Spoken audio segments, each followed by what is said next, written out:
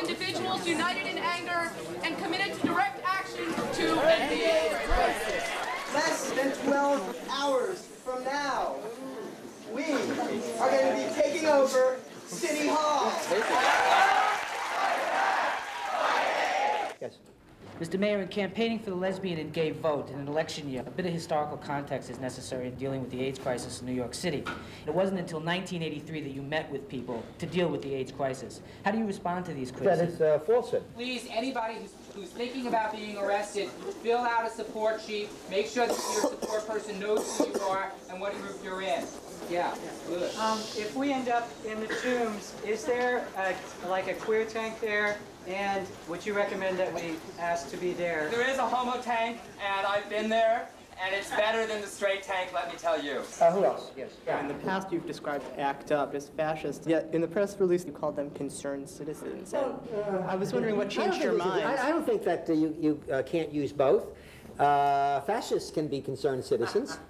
Um, and um, I don't believe they are fascists. I think they have used a fascist tactic. Let us celebrate together tonight the end of the last day on which Ed Koch can tell himself that the communities which are being decimated by this epidemic are so weak and so divided among themselves that he can keep serving us this kind of bullshit. Tomorrow morning he will begin to learn the truth.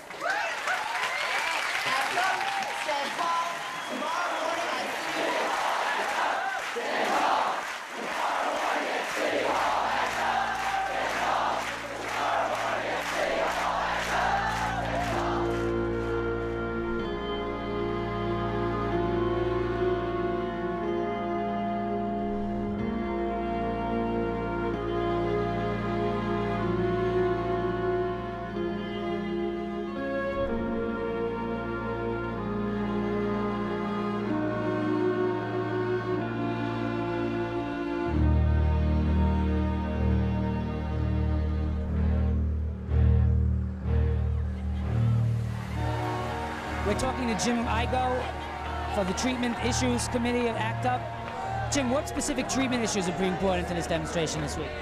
the municipal hospitals are totally falling apart. More than half the people who get diagnosed with AIDS today get diagnosed through the emergency rooms of our city. You're going to find yourself waiting four days in an emergency room before you get a bed. pretty scared, but uh, being HIV positive, I don't have much choice in that. I just love all these people, and I think that what we're doing is really right. And I mean, listen to this and look at all the people. It's just really wonderful, and it's worth putting There is myself on the line. for. accurate diagnosis. There are incentives in the city hospitals not to diagnose people with AIDS, and therefore people don't get treated. We are angry at the way this city has handled this crisis, and we demand that Ed Koch exert leadership and declare a state of emergency.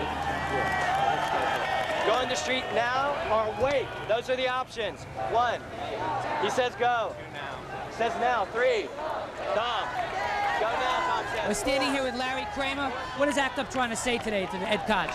We're sending a message to public officials, to closeted public officials, that we won't be shat on anymore, and obviously all the AIDS issues. I would love to see like more cameras or something, you know, for our own protection. Everyone hear his concern. People die every day, friends get sick every day. I don't, it's like being in the trenches. There is such anger in the community, and it, it is coalescing in a way that has never been done before. Okay, which way do we face, girlfriends? This way or that way?